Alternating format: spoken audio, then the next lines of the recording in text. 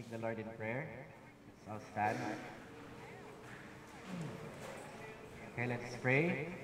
Our dear Heavenly Father, we thank you, Lord, first of all, for waking us up all from our beds for this chance of life. Thank you for this gift of life, Lord, and for, uh, for guiding us all here safely.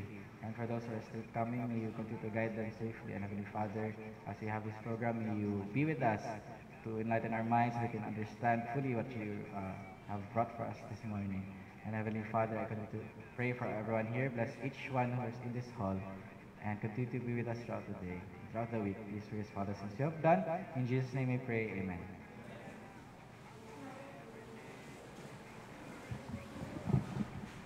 Good morning, everyone. Thank you for coming to our very special um, seminar this morning. We would like to welcome all the music majors. Music majors, please raise your hands.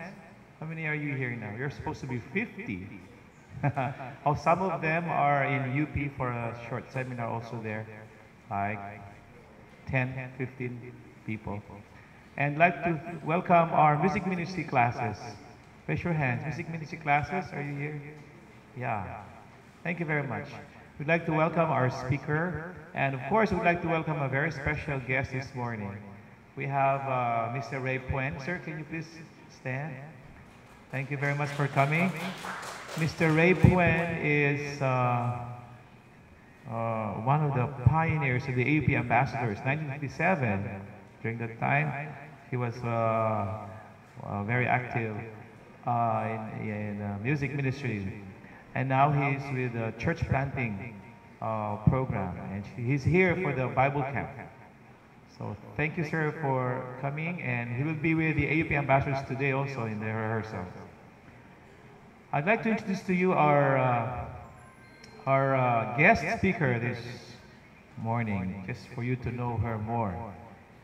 Um, she was uh, here in AUP for her elementary grades in 1994. And then 2001 to 2006, he took BM piano performance here at AUP Music Department. So he's our one of our uh, graduates.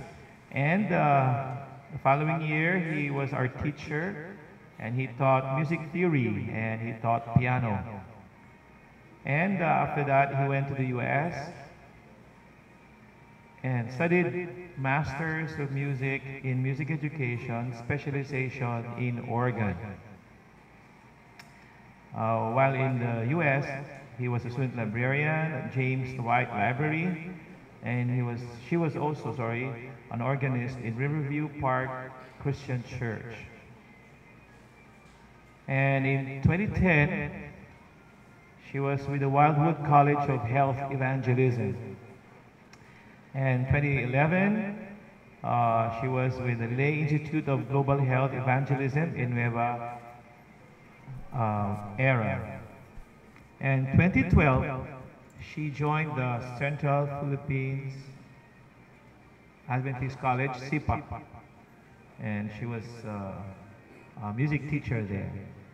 And at present, she's a full-time missionary volunteer of PAMAS. The PAMAS is Philippine Adventist Medical Aviation Services. What a ministry, right? So maybe you want uh, to join. You're looking for some volunteers, ma'am, right? Yeah, join the aviation service. Ah, maganda yun, ano? Marami, gusto maging pilot din eh in the future. Okay, thank you very much. So, we would like to give her the time. And uh, if you need the restroom, just get out and out of the building. And there's, towards the other building, we have uh, restrooms there.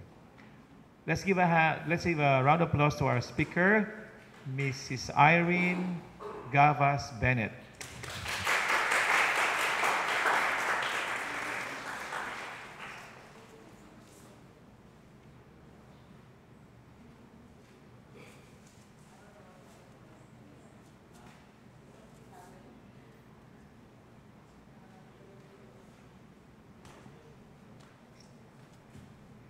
Well, good morning, and it's an opportunity to be back in my alma mater. You know, it's, I heard that you're celebrating the 100 years, so it's nice. Yeah, next year. So I mean, I'm, I'm three months, five months early, but it's nice to be back. Anyways, I was um, really excited to, I'm really excited to share this topic with you this morning because ever since I, I did my thesis in Andrews seven years ago, I have never really shared it in this kind of format. So you are the first audience that will be hearing it this morning. And it's, we changed the title, Rekindling the Vision Early Advent Hymns Revisited. This is just a, a portion of the actual paper that I wrote because if, if I'm going to share everything, we're going to go for a whole day maybe. So what were the things that really led me to write about this particular topic? As uh, what Sir Oblimar said this um, to introduce me, I was working at the James White Library, and that really was one of those things that that that helped me to be interested in our history as Seventh-day Adventists. I didn't care before, but seeing the, the, the wealth of materials in that library, seeing the original documents of the pioneers, gave this um, gave me this feeling of wow. I mean, this this were our pioneers. This is the people that founded the Seventh Day Adventist faith, and that really um, pushed me to, to know more about the music that our, our pioneers wrote. One of, one of the things that also inspired me was that in Andrews University, they always have this annual Heritage Weekend, wherein every year we would go to Battle Creek and we would relive the, the experiences of the pioneers. We would go and have a tour in the houses of J.N. Loughborough or Ellen White, um, and of course, um, Dr. Kellogg's clinic and to see his inventions and how he helped people during that time um, also helped me to, you know, like gather my thoughts with, with regards to this particular topic. Um, I remember, um, if you, who are music majors here, can you please raise your hands, okay? Are, have you uh, taken your romantic literature, romantic uh, history of music? Not yet. Okay, anyways, in, in the Romantic period, a lot of the composers would gather together in, in someone's house. It's a practice, and they would, they would talk about the, the topics of the day. And by talking about those topics that were happening in the environment or you know, political, political issues of the day, um, many of the compositions would be influenced by that. And somehow I, I kind of, I was kind of influenced that way, not by composition, but by writing this because a lot of my friends, my circle of friends, were either taking their master's or their PhD in church history. So a lot of the things we talk about were always about the history of the Seventh-day Adventist Church. So that also helped me.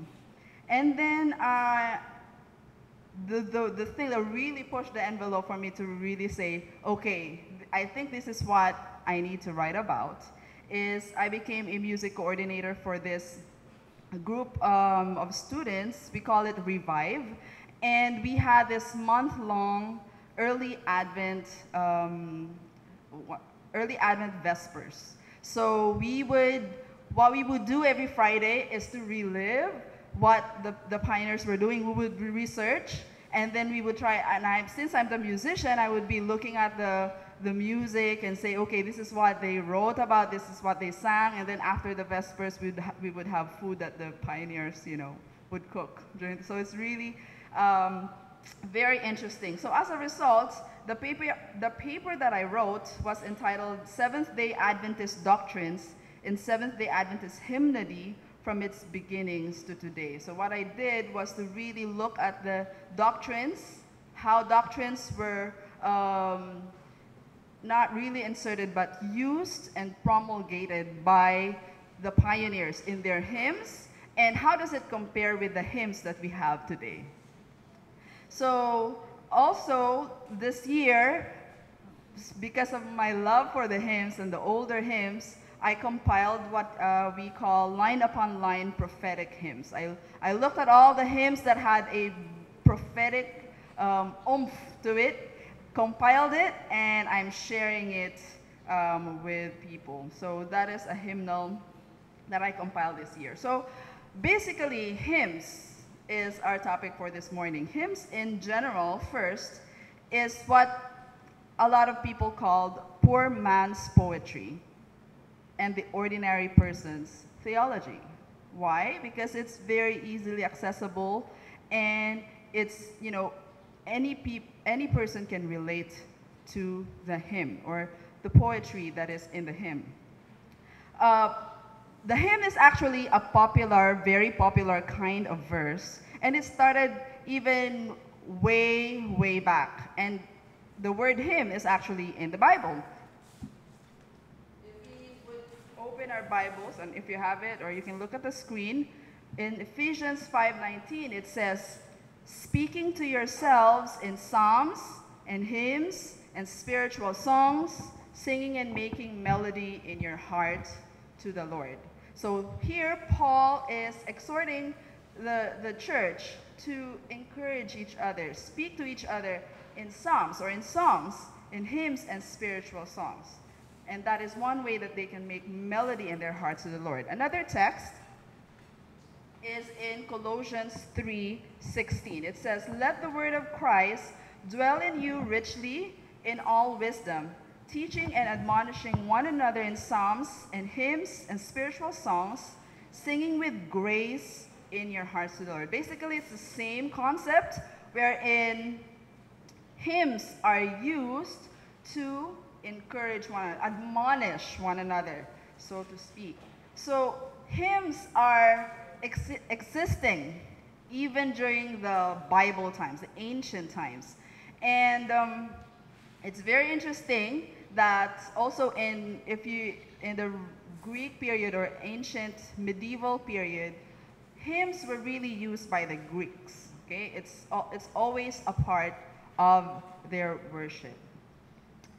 Now, and then we see hymns in history again when Martin Luther came into the picture. Okay, so after, you know, during the Renaissance period, for those who are not music majors, we divide history um, according, in, in music terms, we divide history by calling it names like such as Renaissance period, Baroque period, classical period, uh, romantic period.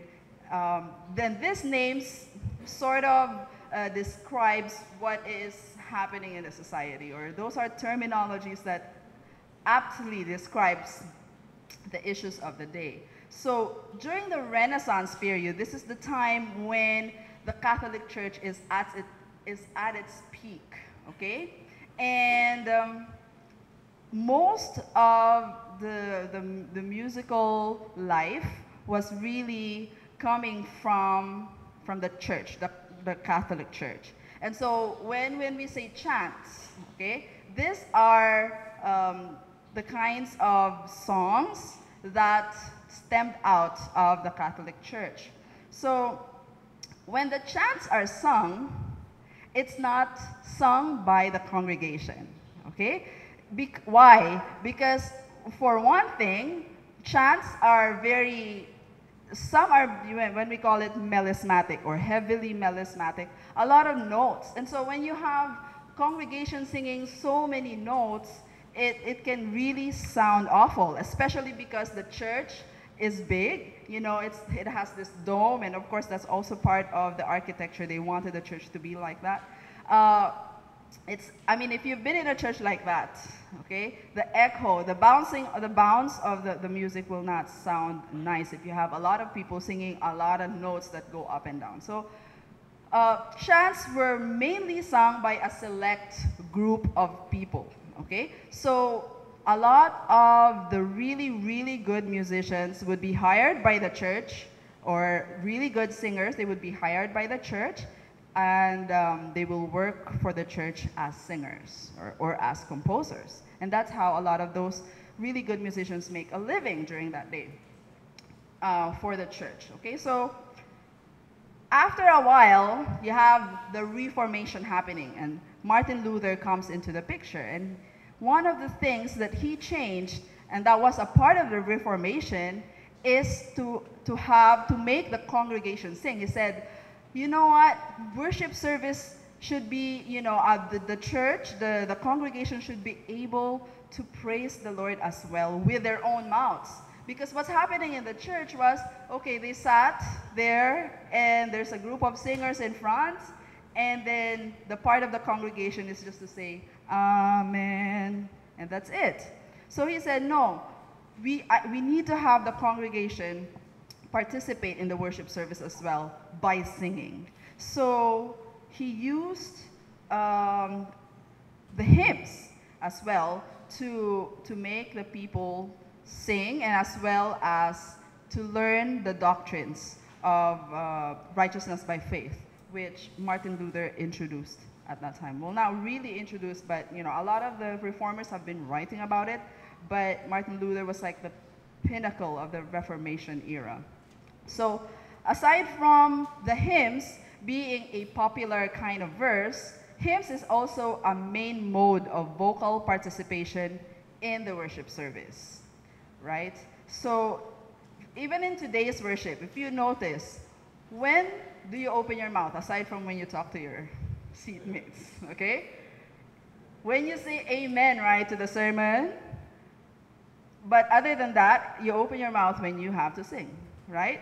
The other people who are in doing it, um, something in front, they're the ones who speak a lot or, or use their mouth a lot. So music is really very important in the worship service because it helps the worshiper have this conscious response. That's why, uh, just a side note, for those who are preparing songs for the worship service, you have a very, very important role because the music that you need to choose, okay, the, the songs, the opening song, the closing song, it will play a very important role. It should connect to the message because if not, as a worshiper, it does not, the message did not really connect. So it has to be, uh, it has to be smoother, it has to flow. So main mode of vocal participation. What else is the function of the hymn in worship?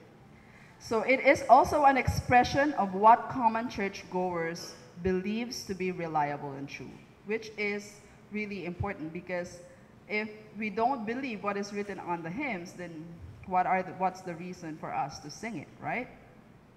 And of course, one of the main um, things that I want to push today is that uh, hymns is a means to present and teach Christian doctrine. And actually, Martin Luther also used this to his advantage. What he did is he was thinking, okay, how how can I best teach the people about righteousness by faith the fastest way possible? And what he did is, because he's also a composer as well as a theologian, he used both of those skills, composed music, well, composed some songs as well as, and as well as put the lyrics and may the people sing it. If, if he's not um, in charge of the congregation, he has a select group of people that would sing in the markets. And this is how the message spread really fast. Okay. But, you know, of course, some people say, oh, you know, Martin Luther used songs that uh, were the secular tunes of the day, but that's another topic. Um, okay, so those are really the, the functions of the hymns in general. We in the Adventist Church also used uh, the hymns, particularly to promote our doctrines. Okay? Those are, the hymns became the vehicle for the Seventh day Adventist Church to promote its doctrines. And if we are going to, I forgot my slides. so, anyways, that's, that's, uh, let me just take this out. Okay. Uh, so that's just an old picture from the Catholic Church. That's, that's how they would sing. Uh, that's how the hymns look like, the chants look like uh, during the Renaissance period. And of course, you have Martin Luther, who promoted hymns during the Reformation era. And then in the Adventist church, you have Joshua V. Himes. Anyone who is familiar this guy, Joshua V. Himes. Okay, so Joshua Himes was actually known even before even before he became a Millerite. He was known as an ardent crusader against slavery, liquor, and war. And his main purpose in life is to make the world a better place to live in. Okay, that's I mean a lot of a lot of people want the world to be a better place to live in. And Joshua V. Himes made sure that his, his life's work would, would um, include that particular philosophy. So one day, he heard Miller speak about the time messages. And uh, when he heard him, he was, he was so touched, he was so moved and compelled. And so he said, he asked Miller, Miller, William Miller, do you really believe the messages that you're sharing? And Miller said, I will not be sharing these things if I don't really believe them. So Himes said, well, if you really believe it, how come you're just sharing it in the small churches? Because at that time, William Miller, you know, you know William Miller. You're familiar with William Miller, right? So he's a farmer turned preacher, and he would only go to churches where he was invited. And so he was invited in the smaller churches in the countryside, and that's where he would go. So Himes said, why don't you go to the major cities? Go to the go to Rochester, to um, to a lot of to Boston. Okay, those are the major cities at that time in the uh, northern part of the United States. And William Miller said, Well, I'm not getting any invitations. Why would I go? So Himes said, Okay, I'm going to help you. And this man when he promised he would help Miller, it's not like, hey, I'm just, I'm gonna help you, I'm gonna get you an appointment and then you, you know, you speak. No, he gave everything. His, he, his money, he put, he poured it into William Miller's ministry. And as a result, he was in every major church and he was able to speak to thousands of people. So Miller, um, Himes actually decided to lay everything on the altar of God. And he became Miller's manager, advertising agent, consecrated promotion specialist, you know. So one of the things that he did for, the, for William Miller is to write publications. So have you heard of Signs of the Times? The, we, we, we used to have those magazines before. Okay, so it was started by Joshua V. Himes. And of course, anyone who can help me with the technical issues, please do. Thank you. So Joshua V. Himes wrote publication upon publication and publication. And so because Miller was only one person and he cannot go to all parts of the country uh, to, to share his messages. And so the publications help. There's no Facebook, there's no Instagram, there's no Twitter to, to make things, you know, go the message faster. So Joshua V. Himes, aside from writing these publications, also believed that music can help in, in furthering the gospel. Okay? So what he did is he also compiled a lot of hymns. So a lot um, during this time, the people that were listening to Miller's messages were people that are coming from different churches. Okay, so Baptists, Methodists, uh, Presbyterians, Congregationalists, they would they were all um, they would all listen to M Miller speak. Miller was not just invited in one particular church. Okay, so at the time, um, if you're a preacher and you're a Protestant, then you can you know you can go to any of these churches. So many many of them were hearing these messages for the first time. And so the songs that were being sung during this time were also songs from other denominations. And so Himes said, you know what, since we, are, we have a certain message that we preach, why don't we have a song or a hymnal that would really encompass these messages that William Miller is preaching? And so he decided to he decided to compile a lot of these hymnals. We're going to look at that later. Uh, so Miller was able to speak in every major city in the East Coast, and as a result, Ellen White was able to hear the message, and you know the rest is history. Man, Ellen White heard about it. And um, during this time also, you have the Great Tent, and the, the, the Millerites were known for the tents that they would pitch. Okay, so when these tents would be up in a town, people would know, oh, the Millerites are here. Okay? So the tents would be, uh, they call it the Great Tent in the summer of 1842, especially in those years. It was 120 feet in diameter, 50 feet high in the center, and it could seat 3,000 to 4,000 people. That's really big. How, how many people can we house in PIC? 2,000, around 2,000. Well, this tent can house 3,000 to 4,000. And wherever it was pitched, people would, would come.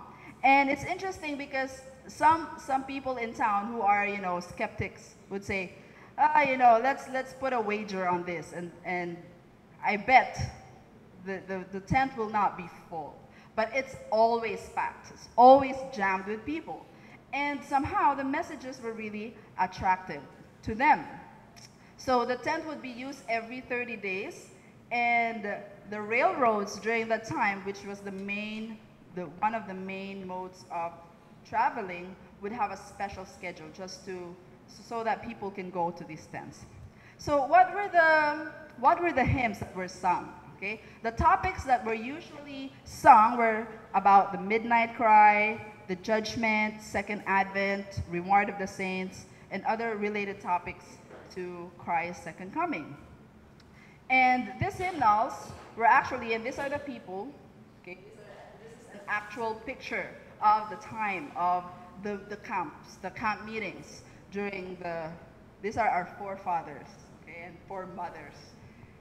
All right, so one of the hymnals that Joshua B. Himes compiled is called Songs of Zion. That's the first one that he compiled. But, you know, somehow a few months later, he didn't really like the title. So he changed it to Millennial Musings, a choice selection of hymns designed for the use of Second Advent meetings. This was in 1842. Okay, so it had 121 hymns and 144 pages it only had words, no music whatsoever. So only words were in their hymnal.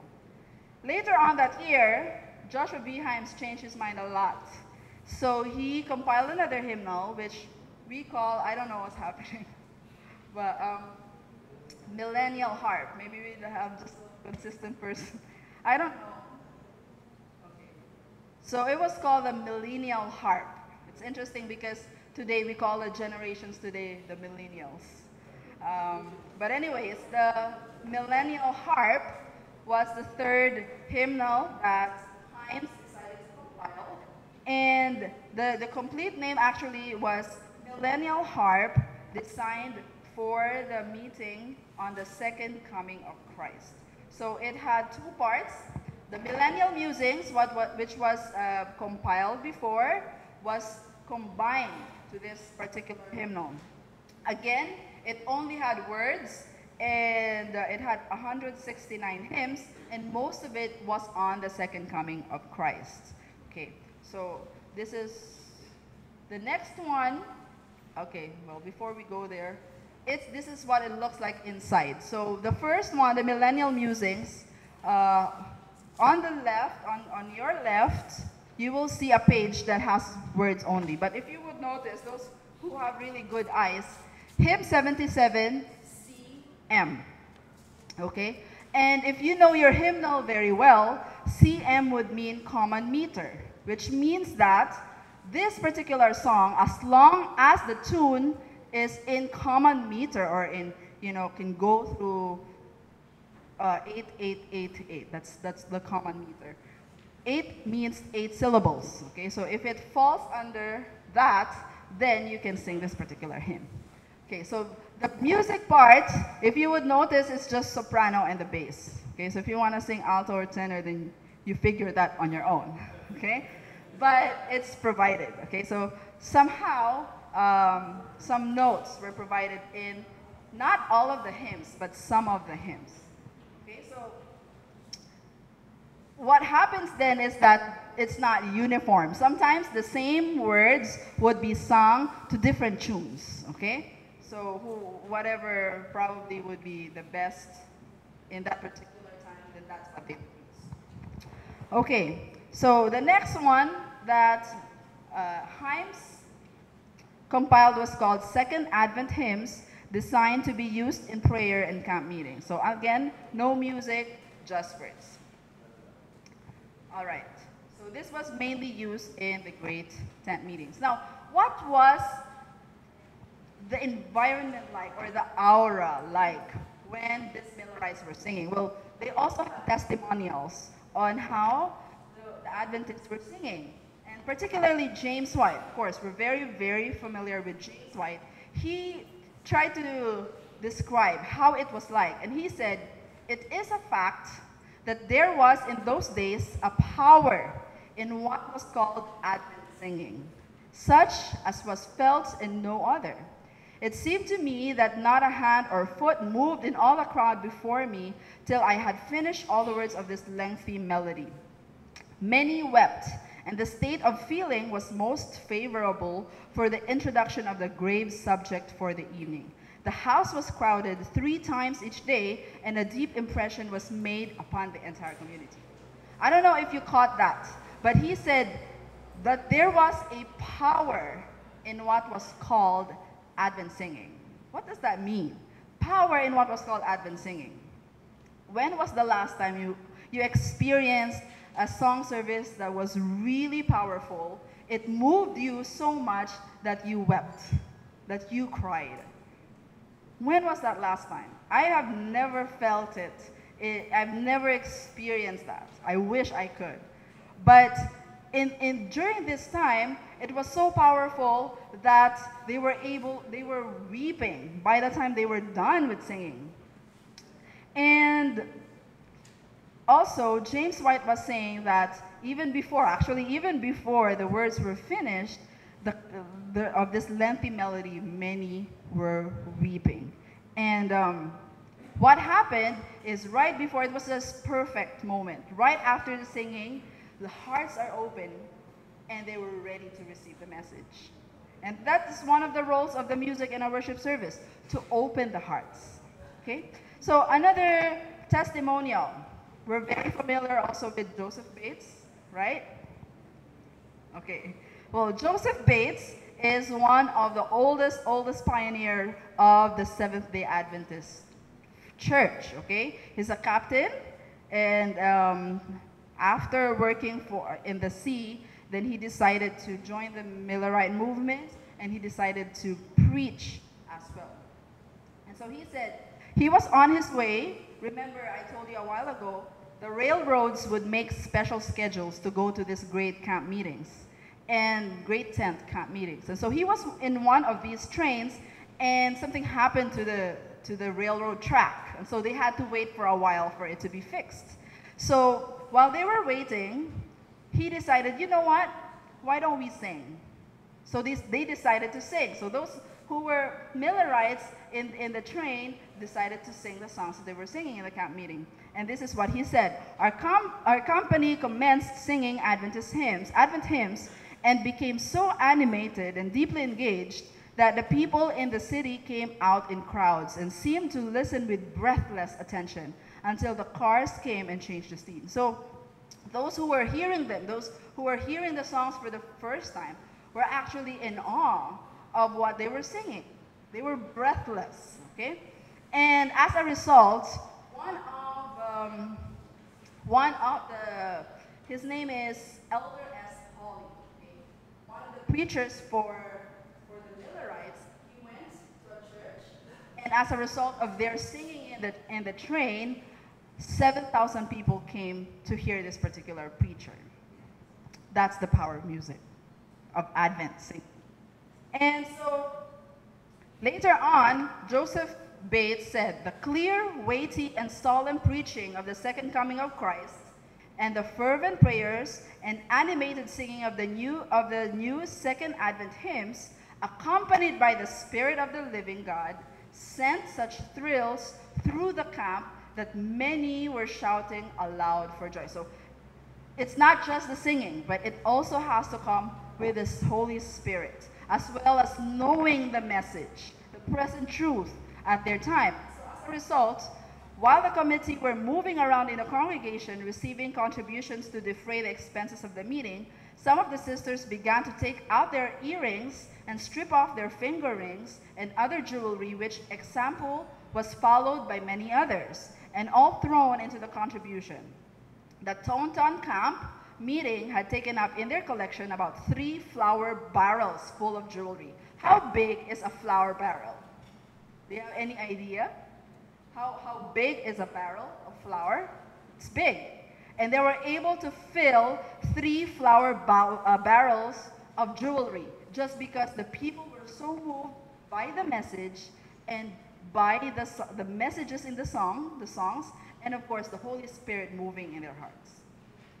And, and it usually happens when we, when in the worship service we become, you know, imbued with, with the Holy Spirit and the messages that we're hearing, the, the natural reaction of ourselves is to give all, to give everything. And this is what happened to these particular listeners. Um, so at this point, I'd like to invite a pianist. Did you ask? okay. Uh, so that I can a volunteer, so that I can speak while while while. Um,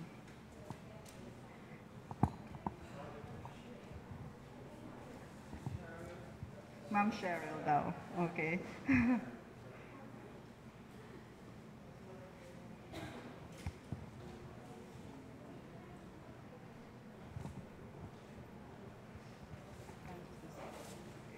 Thank you. Okay, so before we go there to William Miller. Okay, so well, actually you can go there. Okay, um, William Miller. Okay, you know him to be the one discovered the um, 2,300 day prophecy that is found in Daniel 8:14, and we know that William Miller was able to discover this because he was studying his Bible and Bible alone, using also, of course, the concordance. And he said, if if I would try to understand the Bible, then sure all the text in the Bible can be understood by using another Bible text. So he didn't use any because he said he didn't want to, you know, poison his mind with other um, interpretations. So this is what he did, and he, of course he came to understand about the year-day principle in Ezekiel, if you're familiar with that. And so by using the year-day principle, he was able to come up that the 2,300 day prophecy mentioned in Daniel 8:14 is going to end in March of 1843. He wasn't so sure, maybe the whole year of 1843, um, Jesus is going to come, or the Lord is going to come. And of course, we know that it, the Lord did not come. That was the first disappointment.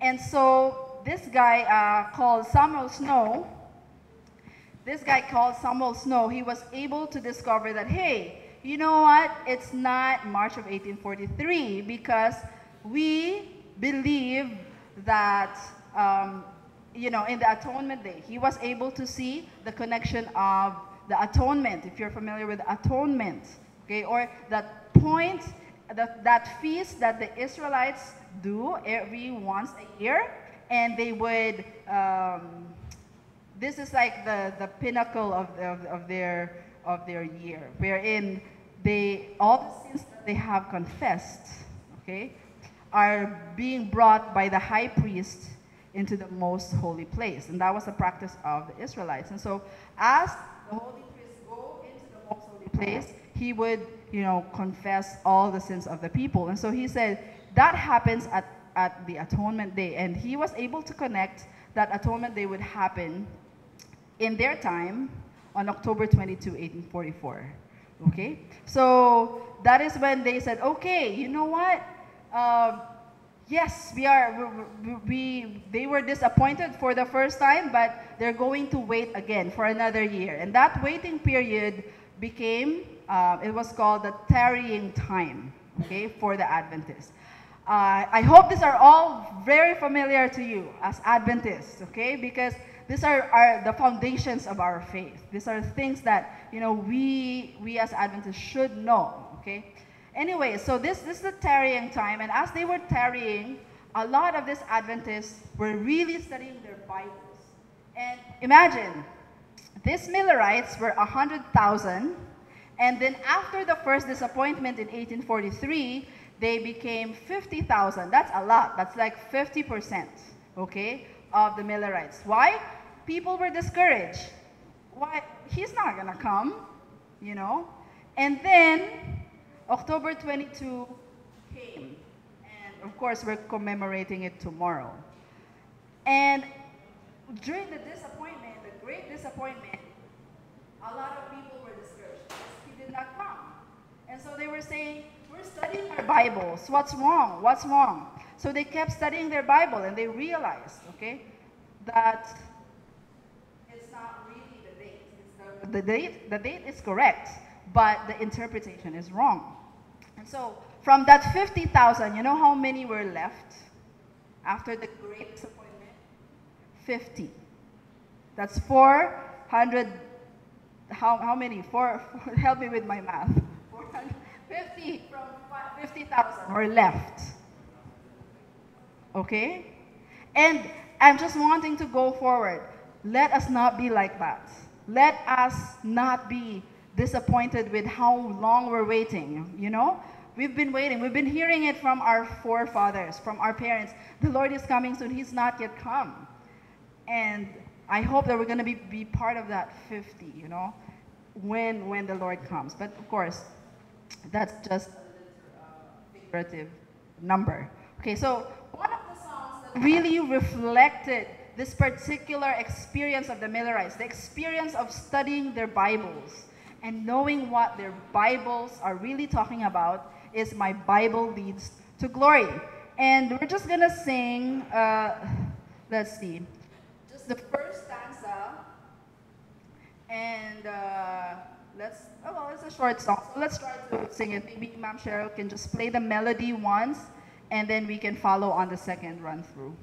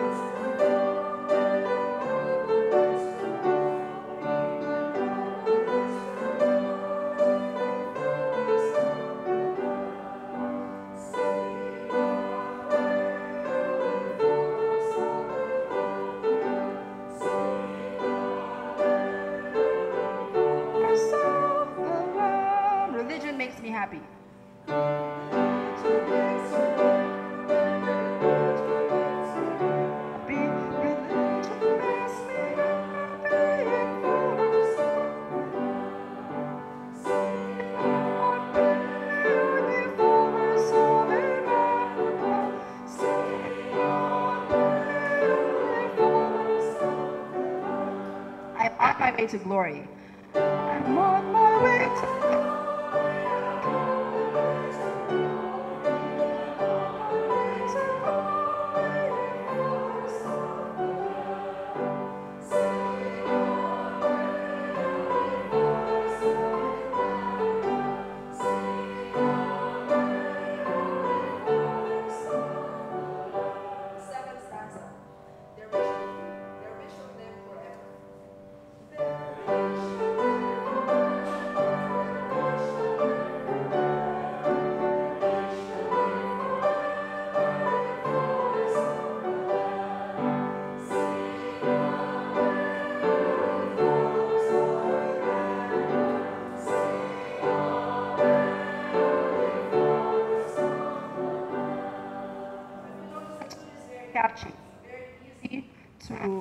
To, to it. So this is one of their songs.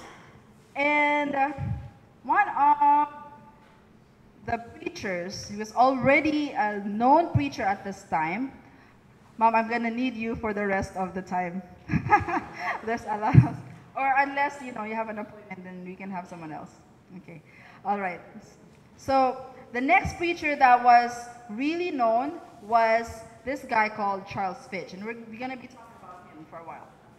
Okay, so Charles Fitch uh, was a Presbyterian pastor for a prominent church in Boston. And when he heard about William Miller's messages, he was, he was excited to preach it about, you know, the prophecies. But he was ridiculed, he was, he was rejected by his people, he was scorned, he was mocked. And so he's like, you know, some Adventists, when they're being mocked and they, they try to fit in and say, okay, you know what, no one's, gonna, no one's seeing me, so I'm just gonna give in. So he was like that for a while, but then his mind was saying to himself, you know what, I should not have done that. So in 1841, he left his church and he decided to preach for the Millerite, uh, Millerite movement. And together with his friend, he, they made this particular chart. Uh, we call it the 1843 chart. And this chart is act- this particular chart is actually in the General Conference they have this outside because it's a representation of what the pioneers believed in. And if you would notice, this is particularly familiar to us, right? The, the dream of Nebuchadnezzar. So the rest is in Daniel, where the bear, you know, the ram, the lion, all of, all of those symbols, they were learning for the first time. The Lord has opened the minds of the people to understand these particular prophecies. And so all of these numbers, they were studying it. And they said, you know, we should present it to the general conference at the time. Um, and so they, they went to the camp meeting, presented it to the pioneers, to the other pioneers, and said, you know what? This is a good chart. Let's print 300 copies. And so every preacher at that time would carry these charts. It's like, this is like their PowerPoint presentation. They just hang the charts there, and, you know, people will learn the prophecies quicker. So as a result of this particular message, uh, Charles Fitch was able to discover that the second angel's message was already being preached during their time. You know, today we say, you know, we, we should preach the three angels' messages, and that's correct.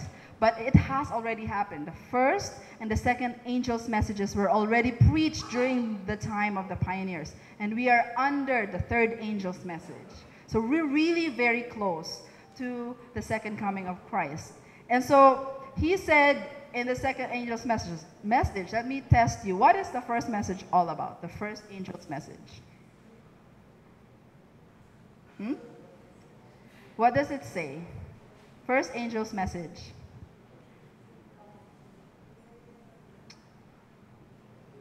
Where do we see, where do we find the three angels' messages in the Bible? Revelation 14 verses verses what? 6 through 12. Very good. Okay. So, first angel's message. What is that? If you have your Bible. Huh? The first, message?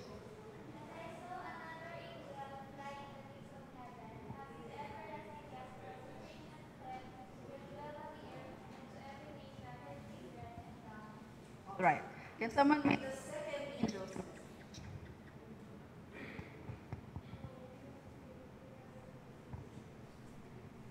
Someone? I, I heard someone in here. Okay, you can read it. A second angel followed and said, Fallen, fallen is Babylon the Great, which made all the nations drink the maddening wine of her adulteries. Okay, so the second message, the second angel's message is actually saying, you know, come out of her, my people. And come out of her, why? Because Babylon is fallen, is fallen. And so Charles was studying his Bible and he said he found out that the churches that they were a part of at that time, the Protestant churches, because they have rejected the messages of Christ's second coming, they are now considered Babylon. They have to come out of Babylon. Okay? So he was preaching that kind of message, and of course, the churches rejected him and rejected this particular message. But we know that what he was preaching about is actually true. Okay? So this particular experience, and not just Charles Fitch experienced it, but the, the, the sense of being ridiculed, rejected, scorned, and mocked. Of course, Jesus Christ experienced all of those things. And the Millerites also experienced it. They had, they were disfellowshipped from, from their churches. And so he, uh, he actually composed this particular song. Well, not the music, but the words. And it's entitled One Precious Boon. O Lord, I seek. Okay. So we're just going to sing the second and third stanza, and it's actually here. Like,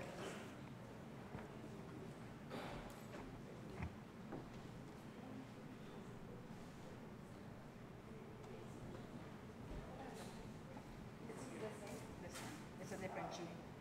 Yeah. So uh, once again, she's going to play once, and we're going to sing just the second and the third. And if you would note, oh. So you notice, earth scoff and scorn will please I'll bear, nor mourn though underfoot I'm trod. If day by day I may but share thine approbation, O my God. The friends I love may turn from me, the words unkind may pierce me through. But this my daily prayer shall be, forgive, they know not what they do.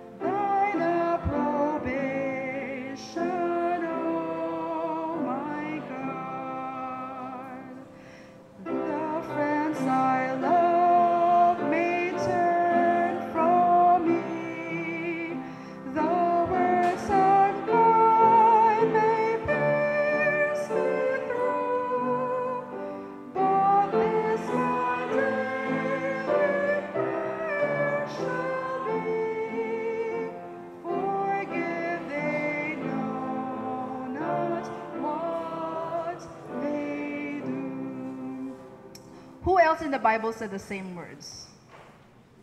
Jesus, right? And that was the very experience of the Millerites. They were being scorned, and it was reflected in their song. Thank you. And uh, how much were they scorned? Well, a lot of cartoons like this would be in the newspapers. What was it all about? Grand Ascension of the Miller Tab- Tabernacle. They were mocking the second coming of Christ, and that they said uh, when when he comes, he will bring all the you know your big tent in in the clouds, and but then you know this guy that fell, that was taken by the devil, is Joshua V. Himes, and I don't know why why they would do such a thing, but of course, not you know, the present truth is not always palatable to a lot of people. So that was one of the things that they would that they would do.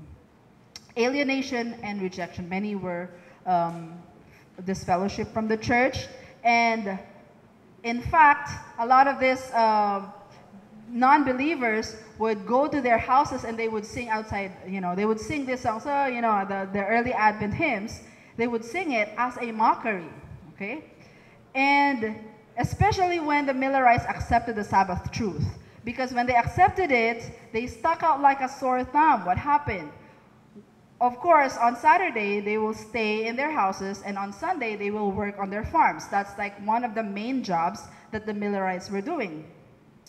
And of course, while they're working on their farms, the other neighbors are going, they're on their way to the church. And so it's so obvious, okay, who were the Millerites.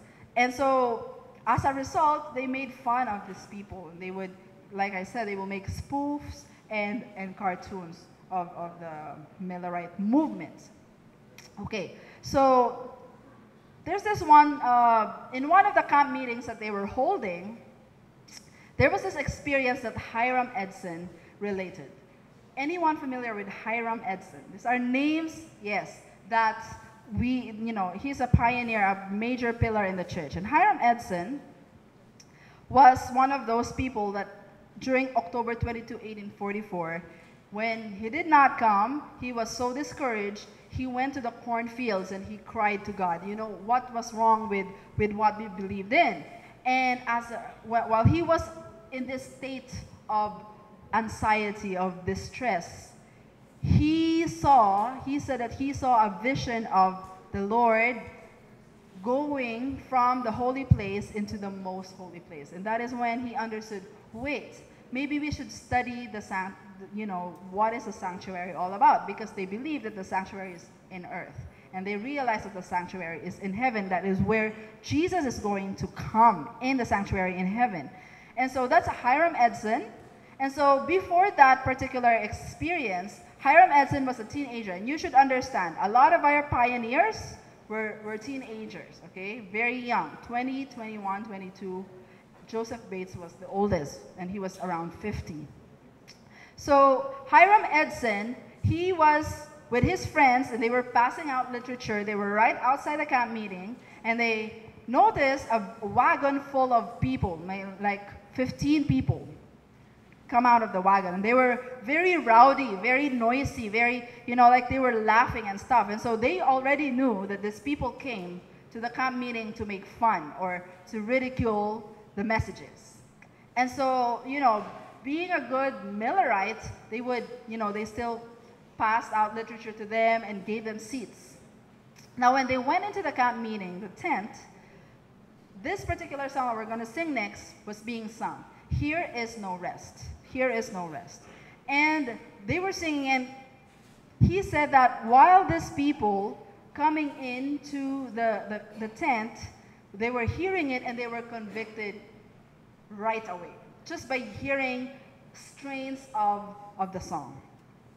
And it's interesting, they wanted to go out of the camp meeting. They, were, they wanted to resist the conviction and the conversion that they were feeling. It's page 20. And they were, they were somehow, you know, like when you're in a place you want to go but you can't leave. It was that kind of feeling that they had. And so this, third, this group of people wanted to leave, but they stayed, and they were right by the door. And only two people left, like actually walked out. And it's a husband and wife with their little baby, one year old baby. So the, the, the, the other people, they stayed, they kept staying. And the husband and wife said, you know, come on, let's go, let's go. This, these people are up to no good, you know. But it seemed like they were pasted. They were just mesmerized, compelled by the message of the song. Again, we're hearing, we're actually seeing what kind of songs, what was the power like um, in Advent singing. And this is one of the results. Those people were so convicted just by hearing the messages in the songs. And so the husband and the wife, they said, you know what? We're going to leave you. So they walked five to six miles. Can you imagine, you know, you're carrying a one-year-old baby and you're going to walk five to six miles just because you don't want to hear the gospel truth. You know? So they walked. But you know what? The next day, what happened to this husband and wife? They got so convicted and they came back together with the, the other company that they left, and they were all converted. What was this song that they heard? Here is no rest. But actually, um, Hiram Edson said, the child was not their heaviest burden. Their conviction was too deep to be easily shaken off. They were back again at the next evening meeting and found pardon and peace in believing. Praise God. Okay, so that's Hiram Edson. Here is no rest. This is a familiar tune because if you know long, long ago, that's one of the very famous tunes during that day. So, okay, first stanza only.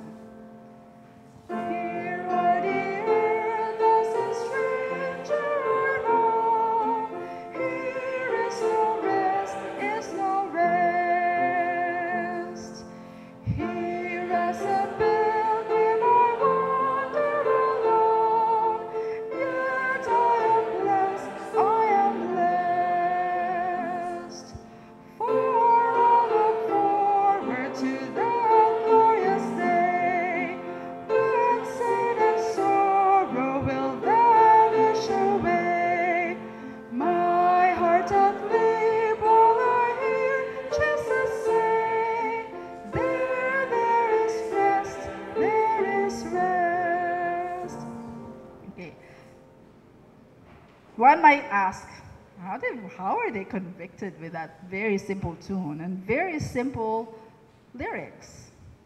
That's the power of the Holy Spirit. And I guess their hearts were also open somehow. Okay, the hearts were uh, all, um, open to hear. Okay, the next song is We're Traveling Home. And there's a really interesting story about this. A lot of this particular song is talking about inviting the person. Okay, come on, believe what I'm believing because you have nothing to lose. What do you have to lose, you know? But, anyways, of course, we know Mil- William Miller is the main person that really preached a lot about this particular truths of, the, of his time, the present truths of his time. And so, as a result, a lot of people are actually turned off. Those who didn't want to believe. And this particular doctor, um, history doesn't tell what his name was, but this doctor, he said he was that he lives close to where William Miller lives, and he said, you know what? William Miller is a monomaniac. Monomaniac means that if you talk about this particular subject, and this happens to be the subject that he is raving about, then he, he's gonna go crazy, you know? Uh, So, for example, if you talk to William Miller about the prophecies, he's gonna go crazy in front of you like a lunatic. So, he's a monomaniac. On other things, he's okay. But don't ever talk about the prophecies with William Miller, okay? Because he's gonna go crazy. So that is the, the kind of rumor that we're spread they're spreading around because of this doctor. And of course, as a doctor, people will believe him. So Miller heard about it and he said, okay, let's let's see. I, I want to do something about it. So his child got sick and he called for this particular doctor. And you know, the doctor, you know, attended to the child and said, "Okay, this is what you need to do." Blah blah blah. And as he was about to leave, he noticed William Miller sitting on the corner, and he was very sad. And the doctor said, "What's wrong with you? Are, are you also sick?" And Miller said, "Yeah, I'm I'm I'm also sick, and I I think you need to examine me as well because I heard that I have the sickness called mono monomaniac. Uh, that I people are saying that I'm a monomaniac and I want to, to get well. So the doctor blushed because he knew that the rumors were from him. But you know, he kept his cool. And Miller said, "Okay, well, um, I'm going to pay the examination fee." Just, you know, just like how you would examine other people, but I want to get well from this sickness. And the doctor said, oh, okay, well, of course, the only way that you can diagnose if he's really a monomaniac is to listen to him talk about the topic that he will get crazy about. So for an hour and a half, the doctor listened to a Bible study on the prophecies. And he sat there patiently and asked William Miller explain to him very calmly, you know, how, how what's going to happen. And he explained to him, you know, the numbers that 1843, the Lord is going to come. You know, the doctor was just amazed. And so even right, before Mil- Miller finished, he ran off, got his bag, didn't even wait for the payment, and he ran. He was red and he ran. The next day, he came back to William Miller's house and he said, I did not sleep last night. I didn't have any sleep last night whatsoever because of the things that you told me. And Miller said, Why? What, what, what's wrong? What happened? And he said, Well, from what you said, I realized that if he's going to come very soon, I'm not ready. And he, the doctor said, if, if I'm not ready, I want to be ready. And can you give me more Bible studies? And you know what happened to the doctor? He became a maniac himself. And he was preaching about the truth. And that's, that's a very interesting way of how Miller invited people to believe this message. He was not just this one person who would preach. Actually, Ellen White was saying that Miller, Father Miller, was called Father Miller because whenever he preached and he would see someone come in and an old person, he would go, he would leave the podium, go and assist that person because he can see where the vacant seats are, assist that person, and then went right back to preaching. He was very fatherly and very nice, very kind man. So uh, he was inviting people. These are one of the songs that they would sing. We're traveling home, page number 15, um, page 66. And we're going to sing stanza 5 and 6. And I want to highlight this particular stanzas because one of the things that really stood out in the Millerites' um, music is the graphic way that they describe the prophecies. For example, the, the stanza 5, well, stanza 6, oh, could I hear? I, I hear some sinners say, I will go, I will go. I'll start this moment, clear the way, let me go, let me go. My old companions, fare you well. I will not go with you to hell. I mean with Jesus Christ to dwell, let me go, fare you well. You don't see this kind of songs now, you know, like very strong conviction about what they believe. And so if you don't believe, then you go to hell. I won't, you know. Today, we just use that particular saying when we're really mad at someone, hey, go to hell, you know, but we don't really mean it in such a way. But anyways, this is how it sounds like.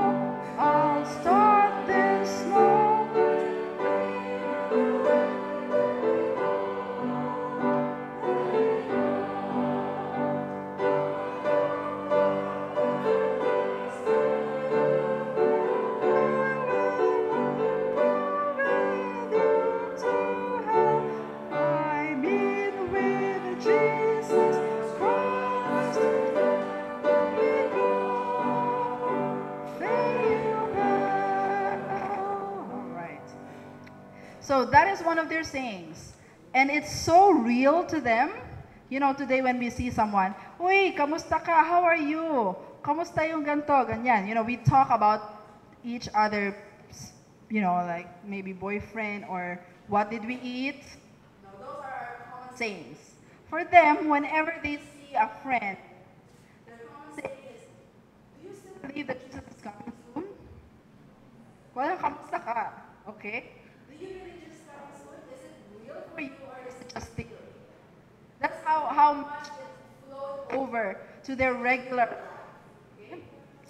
And one of the people who really believed that Jesus was going to come was Charles Fitch. We heard about him a while ago. Charles Fitch really, truly believed that Jesus is going to come. Anyways, one day, he was coming from a preaching appointment and he was walking. You know, normally people travel by horse, by train, by boat, or by walking. So he was walking home and he met a group of people and they said, Pastor Fitch, we believe that Jesus is coming soon. Can you baptize us right now? And the at that time it was around you know um, winter, close to winter. So can you imagine in the northern part of the states when it's close to winter, it's really cold, very very cold. So he said, okay, well there's a lake right there. Let's go to the lake. I'm going to baptize you. So he baptized this group of people. And then when they're done, he went home. He didn't have a change of clothes because he didn't plan for it. So he just got dry as he walked. And as he kept walking, another group of people came, Pastor Fitch, we believe the Lord is going to come soon. Please baptize us right now. So okay, let's go back to the lake. So went back to the lake, right? Got wet, got dry.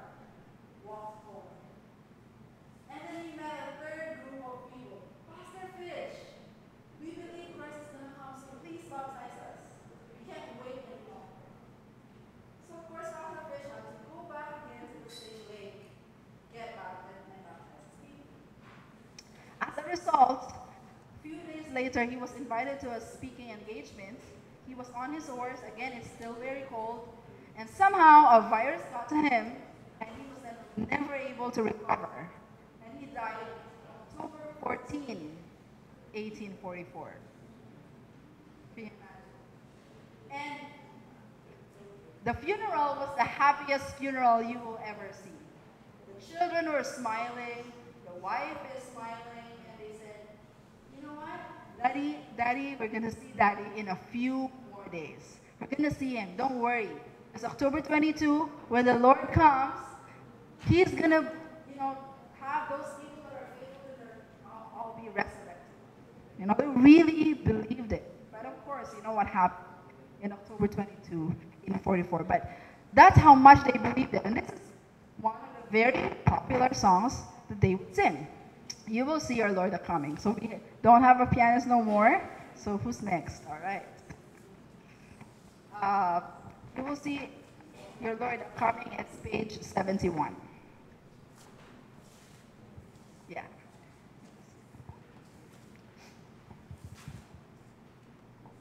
When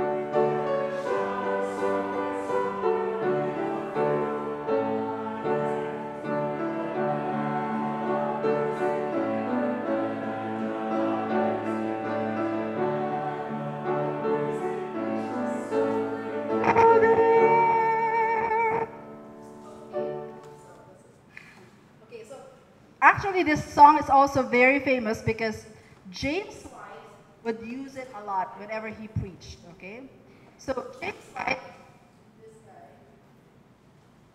he's much younger here. Okay, you know how old he left the house when when he first heard Miller's messages. He said to his father, "Dad, give me a horse."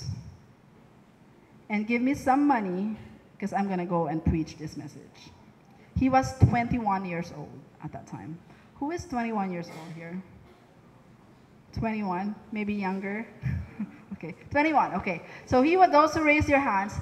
Can you imagine yourself at 21 years old, just leaving the house and just going and you know preaching God's message? Okay, but of course at that time, 21 years old is kind of really mature.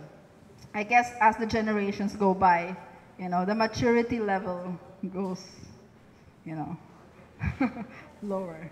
Anyways, but at 21 years old, James White, James White was so convicted that he said, I'm going to go on a preaching itinerary and I'm going to preach this message. And so on his horse, for four months, just with the clothes on his back, the charts that you saw a while ago, he went from church to church to preach the gospel, the present truth. And as he went, he noticed that in a lot of these churches that he would visit, there's always a lot of people, and they're very noisy at times. And so, one way that he made the service orderly is he would start from the back. He had a, his Bible in his hand, and he will start singing. Now, James White is a musician. If you didn't know that, music majors, okay? James White um, has a background in music, and he was trained in the singing schools during that time. Uh, singing schools, of course, if you don't know it, singing schools where you know wherein this teacher would go from town to town, and those who are interested in learning music, then they can go to him and learn how to sing. So James White was a product of those singing schools, and he would and he was able to develop his knowledge in music. And at the same time, he has a very good voice. Okay, so he would use that to his advantage, his singing voice and his knowledge of the gospel message. And so he would beat the steady beat on his Bible while he's singing, You will see your Lord coming. So that will really grab the attention of the people and they will start singing with him because it's a very, very familiar hymn. So in that way, he was able to organize them. And he even said, Litchfield Plains was my next place of labor. The house was crowded the first evening. In fact, it was with difficulty that I found my way to the pulpit. To call the people to order, the first words they heard me, from me were in singing, You will see your Lord a coming. So um, he said also, the reader certainly cannot see poetic merit in the repetition of these simple lines. Now, as a musician, if you, if you try to analyze music and you see something is repeated over and over again, why do you think the composer repeated a certain phrase or a certain line? Is it because he's bored? Then why? Emphasize? What else? Okay? To emphasize that particular message.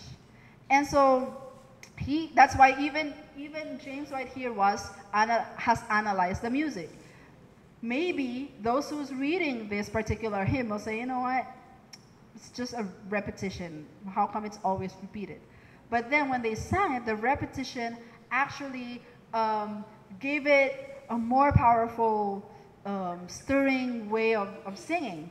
So the certain the reader certainly cannot see poetic merit in the repetition of the simple lines. And if he has never heard the sweet melody to which they were attached, he will be at a loss to see how one voice could employ them so as to hold nearly a thousand persons in almost breathless silence. A thousand people, that's a lot. And James White was able to um, lead out in this. Okay, so I went ahead of myself. This is actually the lake where uh, Charles Fitch was um, baptizing the groups of people, Lake Erie. Okay, Mm, it can get really, really cold during the winter time. Okay, so James White was a very musical person, and so he understood the role of the music in in their times. Okay, very very important that while we're learning all this new light, all these new messages, we should sing about it. Okay, just like Martin Luther. And so he compiled a lot of hymnals, starting from 1849, just just um, five years from the Great Disappointment. He compiled the first SDA. Well, not yet the seventh day, but the Adventist hymnal, and it has a very long name. Hymns for God's peculiar people that keep the commandments of God and the faith of Jesus. I think you cannot say that in one sentence, in one breath. All right? So it was. It had 53 hymns, 48 pages. Very, very, very simple uh, hymnals. Very small as well. Okay. Uh, it's interesting also that in the title you will see that keep the commandments of God and the faith of Jesus. Where, in what Bible text do you see this particular line, if you know your Bibles very well? Keep the commandments of God and the faith of Jesus. You know what? Adventists were used, um, people were used to knowing Adventists as people that really know their Bibles very well. Okay? And um, they would use it a lot, you know, in, in a lot of their sayings and stuff. In fact, when they say a sentence, some, some verses are inserted there, okay? And so even in the titles of their hymns, it has like an insertion of particular text. And this is found in Revelation 19, verse 10, that keep the commandments of God and the faith of Jesus. So another hymn after that, a year later, um, 1852, he made compiled the second hymnal, hymns for Second Advent believers who observe the Sabbath of the Lord. So by this time, the Seventh Day Adventist, the, the church or the the Millerites learned the Sabbath truth and they decided to keep it. And so the hymnals also reflected what they were learning. It had 139 hymns and 112 pages. And then of course, in the following years, he kept compiling. James White was a busy person. He kept compiling hymnals, and he really saw the importance of the hymns um, in this movement. Okay, I, I, I keep saying movement because it was a movement. It is still a movement.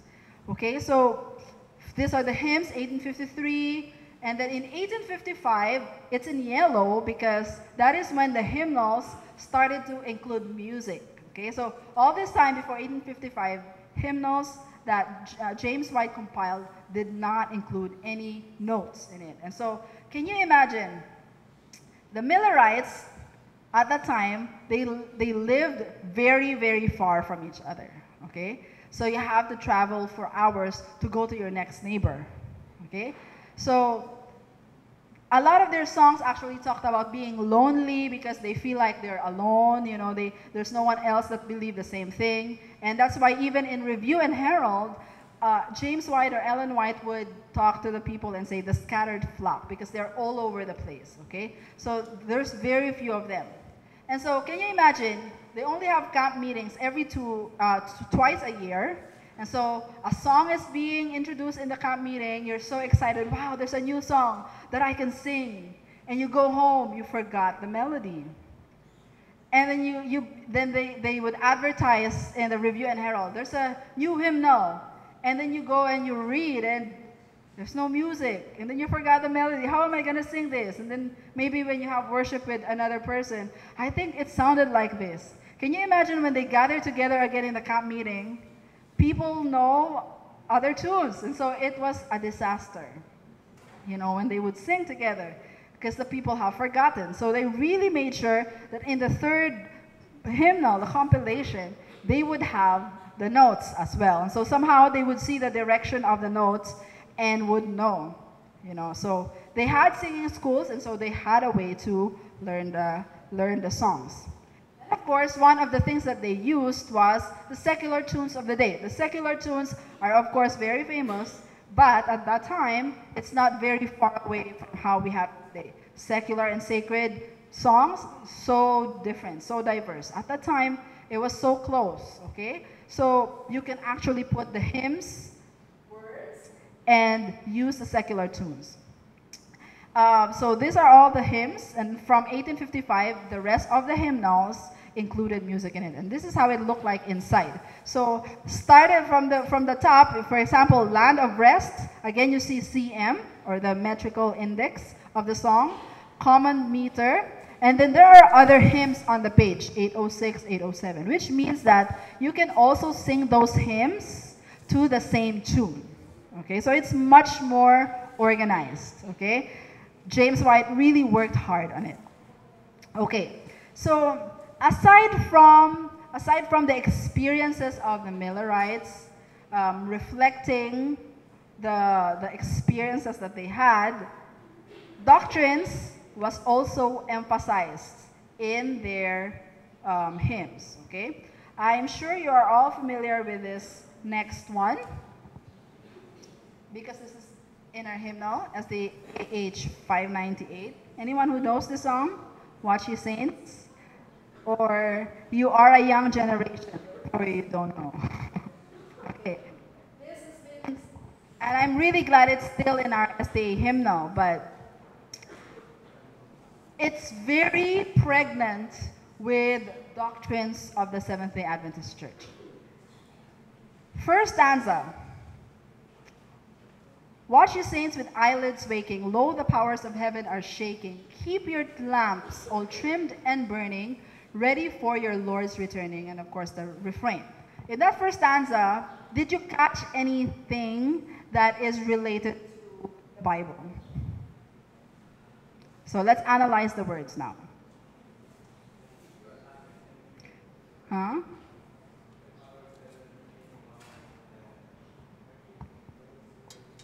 you come to the front, please? Wherever you are, don't be shy. Come on.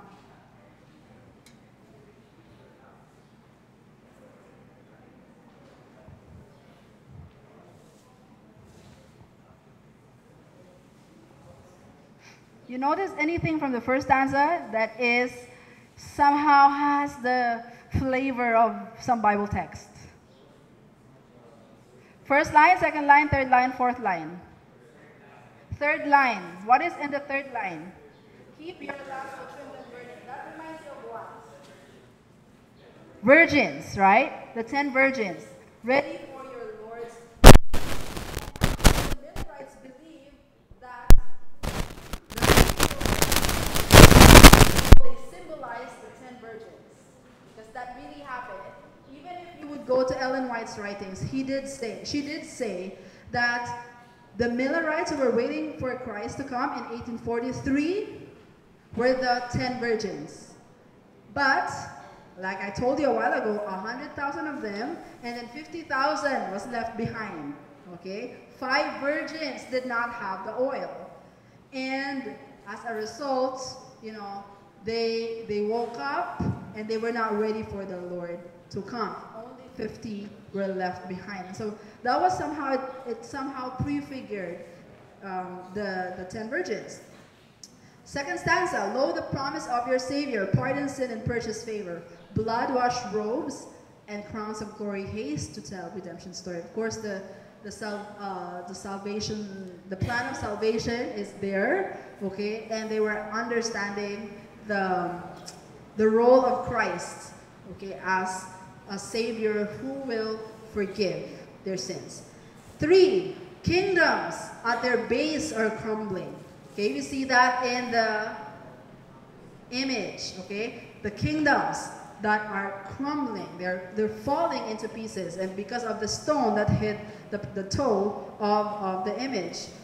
Okay, hark his chariot wheels are rumbling, chariot wheels. Who was the prophet that saw this chariot wheels?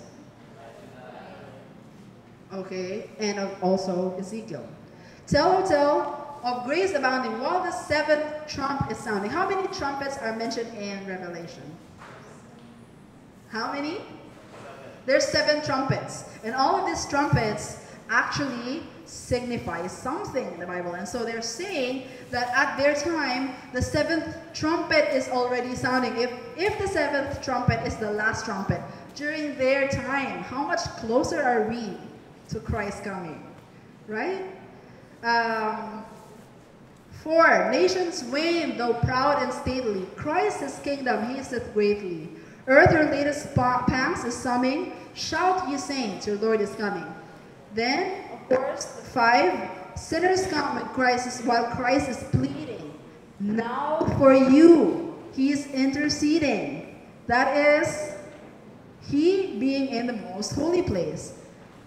His ere grace and time diminish shall proclaim the mystery is finished. So all stanzas is just pregnant with doctrines of the Seventh-day Adventist Church.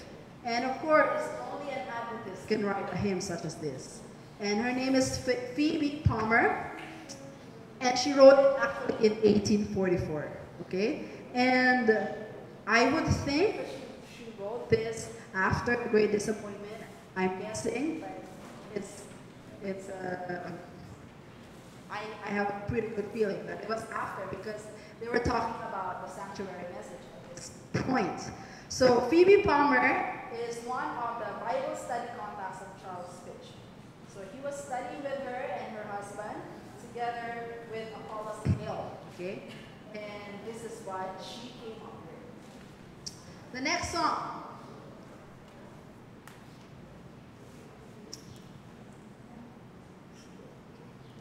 Course, it's very obvious. The three messages. Lo, an angel loud proclaiming, brings the gospel of good news to every kindred tongue and people. Fear the Lord and give glory due. Proclamation, proclamation of the hour judgment near. A while ago, when I asked, what are the three angels' messages? It's kind of like a hesitation, okay? But I'm sure these people, during their time, when you ask them, they know. They really know what it is, and it's even in their songs. So maybe let's try. Let's try to sing this one. Uh, proclaiming.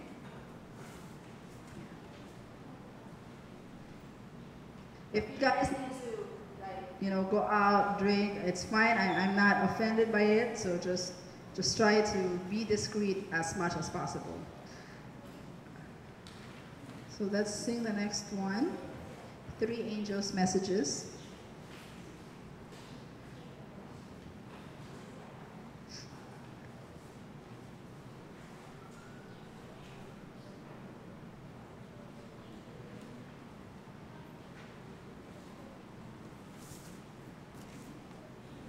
This is a very familiar, familiar tune, okay, for, for many.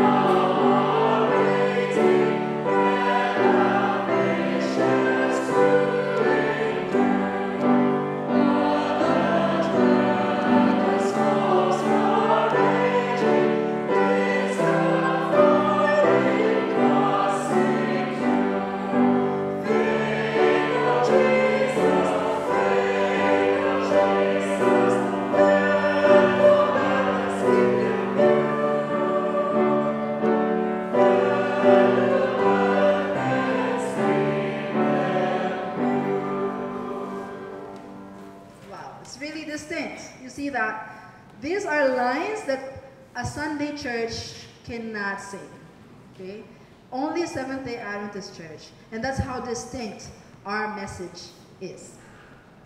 Okay. The last one for this particular section is prayer of the church. And I'm just, I'm just gonna show you the stanzas. We're not gonna sing it for interest of time. And this particular hymn got a lot of titles. So first, it was hymn for 1843, and then later on, it got the title The Conflagration. What is conflagration? When you're being conflagrarized, what does that mean? Okay, conflagration is burning, okay? This is like the final end of a person. Later on, they cha- changed the words because it's so graphic and so scary that you know they changed it prayer for the church and then some were some of these particular stanzas I'm going to show you are words that are removed from the hymnal that uh, the General Conference published.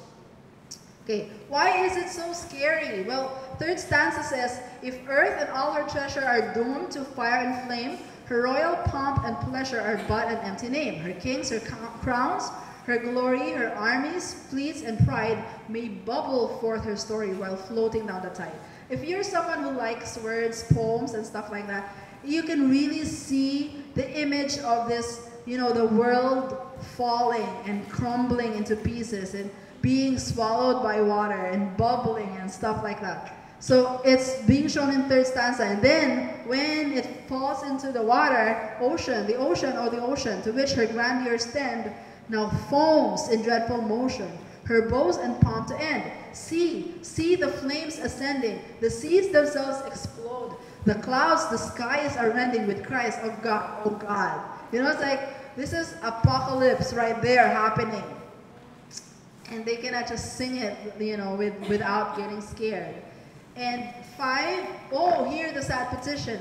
Rocks crush us into dust. Who in the last days, last day events, Who's going to say this? Rocks fall on us. The unrighteous, okay? Rocks crush us un, un, into the dust. Oh, pity our condition, or damned we surely must. We thought that we were wiser than pastors, saints, and all, yet sinners, skeptic meister, must suffer once for all. Ye mortals take the warning, 10,000 calls in five. Should you neglect the morning, then comes the doleful night. Now mercy's had extended, the vilest wretch would save, but oh, if this be ended, you're lost beyond the grave. Okay? So again, they're saying, here is an, example that, of a hymn that has not made it to our Seventh-day Adventist Church. Um, hymnal, because for some reasons it's really, really graphic. Okay? A lot of research has been done while some of these songs did not make it.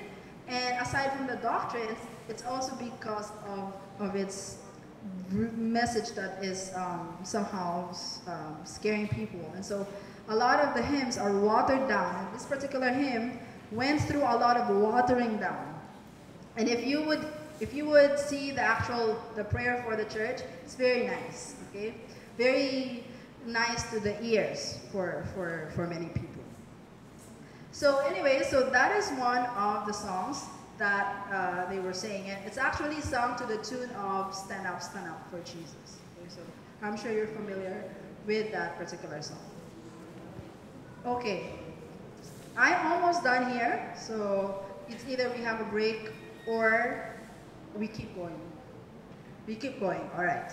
So aside from the second coming of Christ, which is one, this, this is why the Seventh-day Adventist Church is formed is because they believe that Jesus Christ is going to come soon. Tomorrow it's going to be 172 years. And that's really sad because we don't plan to have commemoration of October 22, 1844. Oh, you know, the Seventh-day Adventist long, long, long time ago, you know, we're, we're 172 years old.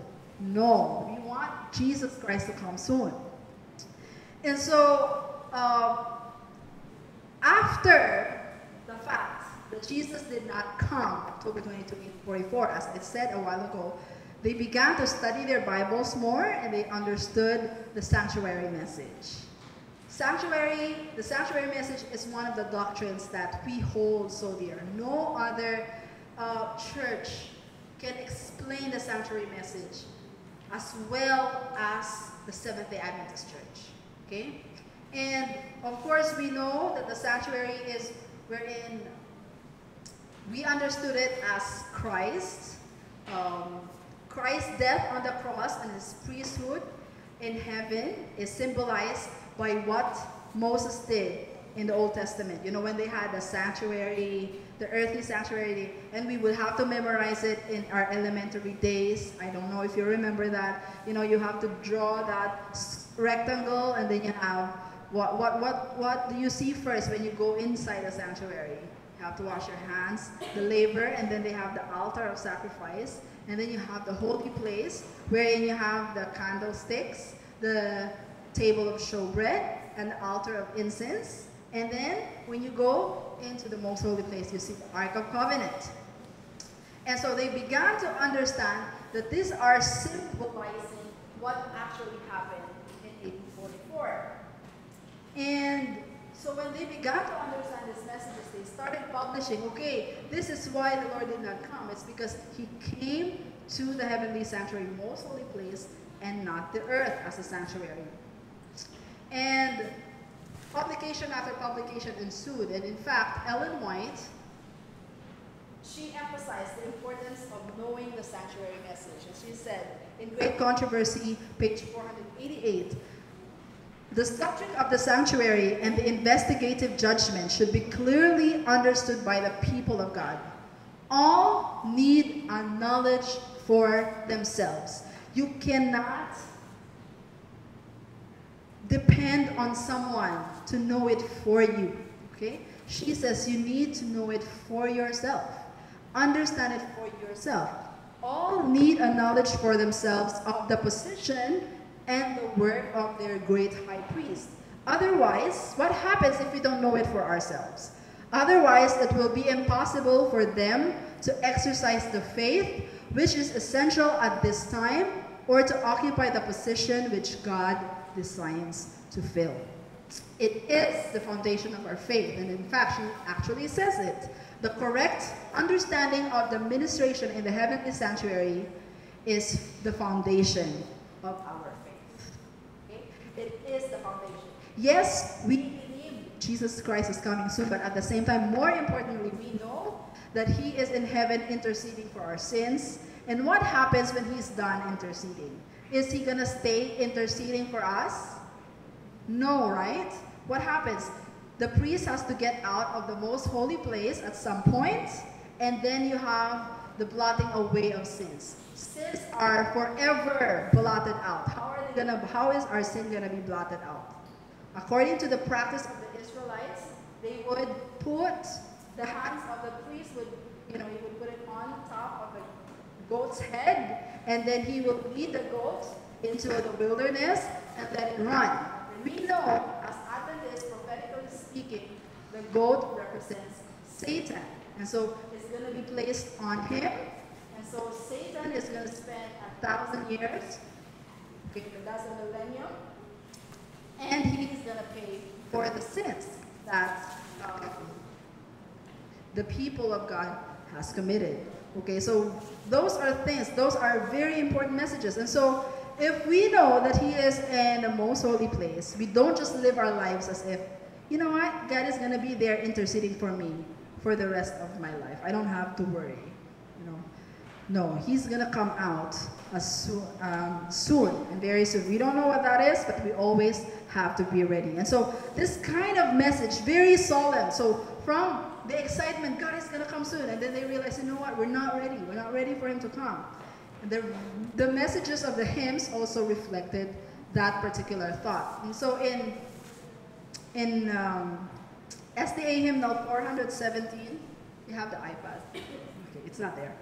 Okay, there's this particular hymn that I have never heard any church sing. So music majors, when you visit churches, please teach this song. Learn it for yourselves and teach it. This is like we rarely hear songs about the sanctuary in our churches. You know, we always hear about, you know, Jesus Christ coming soon, the Sabbath, um, you know, um, about God's love for me, nature, but rarely do we sing about the sanctuary. You know, the only time we sing the sanctuary song is when after the prayer, the wonders of redeeming love. I think we sang that before in, in PIC as a response, but that's the only thing. Four, four, one, seven.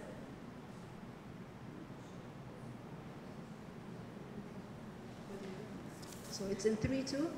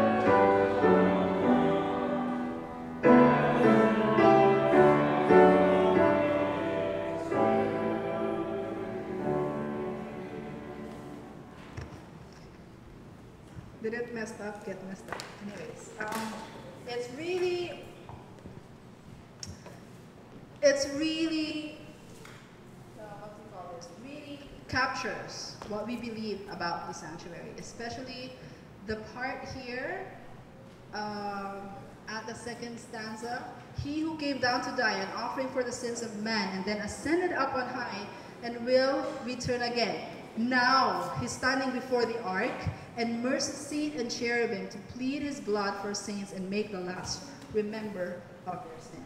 So I really hope our our churches will learn this particular hymn. No one has sang this ever, Ev- even in the states.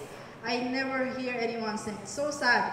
Roswell Cottrell is a pioneer of the Seventh Day Adventist Church. He was actually a Seventh Day Baptist, and he refused to join the Millerite movement because they did not believe the Sabbath. And so when they learned of the Sabbath truth, Roswell said, I'm ready to become an Adventist now because they now believe the Sabbath. And of course, we're familiar with the story of how we have accepted the seventh, the seventh day as the Sabbath. Course, about Rachel Oakes, Frederick Wheeler. These are names that should be familiar. But anyways, um, one of this, of course, Seventh Day Adventist Church will never be Seventh Day Adventist. I don't know what's wrong. But Seventh day Adventist Church will never be Seventh day Adventist Church without the Sabbath truth. Okay? And of course, we have a lot of Sabbath songs that we know. Again, this particular hymn that we're going to uh, look at is something that's never sung and it never made its way into the hymnal. Okay? But it is very distinct. It's called the seal. And that particular terminology itself is already very distinct. We know that at the end, uh, there's two kinds of seals, right? We are familiar about the mark and the seal of God. Okay, and we know that it's not a literal mark on the forehead or on the hand, but we know that what is the seal of God? The Sabbath, right? It's his seal. And so we are called to keep his seal. The seal. Behold, a light appears, the holy Sabbath day, and magnified so clear that none may need to stray. Though small at first, as sunbeams ray, its strength ascends to perfect. That particular stanza talks about, you know, they never really understood it at first, but then later on, the more they understood it, and they, they started practicing it. Second stanza, it is the message clear, ascending from the east. God's servants now appear. Who will not worship beasts? For angels hold, the winds revealed, until God's servants all are sealed.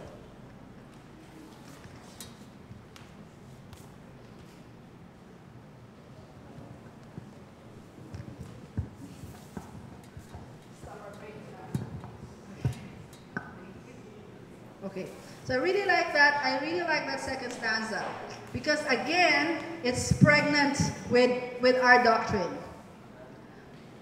We know Sunday law. We always hear about the Sunday law, but as Adventists, you know, we're just scared of it. Okay? Oh, you know, Sunday law, this is gonna happen. Oh, you know, this and that. But um, we know that right now, so to speak, the four winds are being held. Okay, and that is why we still have the time to evangelize and to share the message. And there will come a time when God will not hold the four winds anymore because his servants are sealed. He has found the 144,000 that is faithful to him. And then, of course, you know, the, the author, whoever is the author, is actually anonymous. We don't know who this person is, but clearly he's an Adventist. He talked about, you know, what they what happened to the Israelites in in, uh, in Egypt, and then he also compared that that Sabbath is a sign, okay, that we should all understand. So it has a very beautiful melody, and the title is uh, It's not in the Seventh day Adventist hymnal, but there's no tune, like I said, there's no tune, so I had the liberty of choosing the, the tunes. Right? So my song is found in the hymnal to be the tune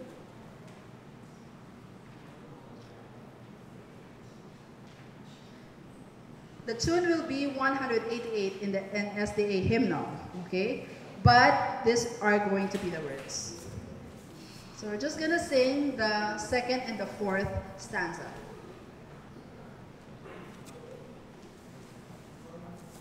Uh,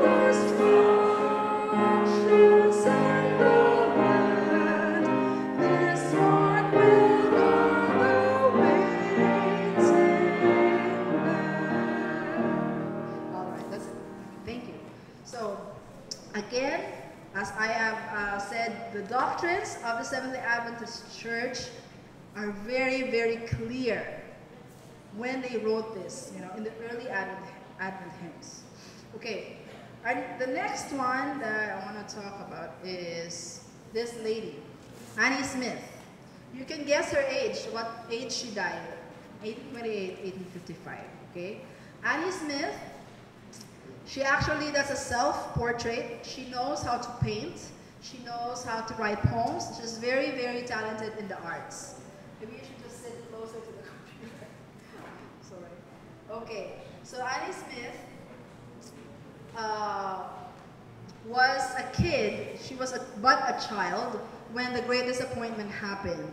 And when it happened, she was so discouraged that she decided to leave the, the church. And she said, you know what, I don't have, I don't have anything to do with the Millerites anymore because it's not true what they're saying. So what she decided to do is when she went to, you know, she went to college and enrolled in a school that taught arts and literature.